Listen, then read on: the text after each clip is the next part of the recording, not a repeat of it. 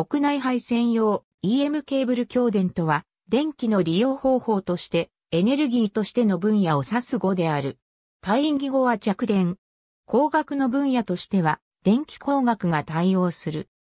強電は、電力を消費して動作する機器の動力源として、電気を供給すること、ないしその供給に供される経路のことで、特に電力を供給する電線を、強電線などとも呼ぶ。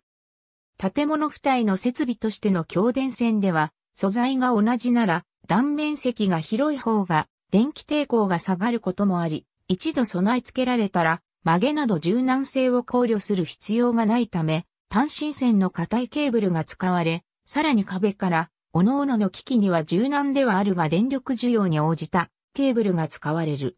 特に大電力を消費する機器では、キャブタイヤケーブルなど、特別頑丈なケーブルが選択される。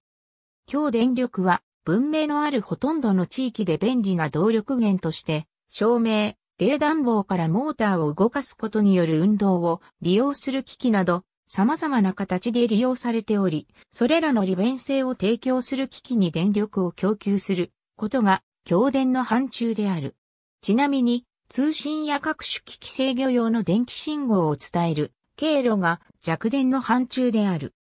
強電は、漏電などの形で他に漏れれば感電などの危険がある電流を安全に扱うことに主眼があると言っても過言ではなく、そのため、どうしたら安全に電気を扱えるかという観点から、搬送路の補強や漏電対策、あるいは電気回路に過剰な電流が流れ、ジュール熱などによる発熱で火災を起こさないようにするなどの対応が図られる。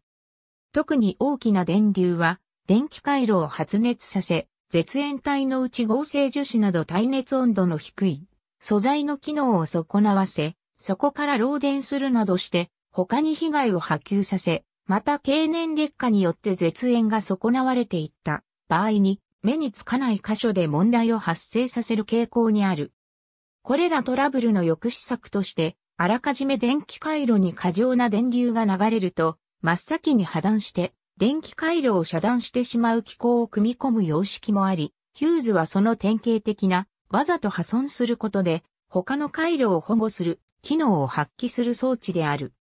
ただヒューズは問題箇所を修理してもヒューズを部品として交換しないと復旧できないこともあり、配線用遮断機など電磁石やバイメタルとラッチ機構で機械的に電力スイッチを自ら切断し、安全確認後は手動操作で復旧可能な装置も利用されている。ありがとうございます。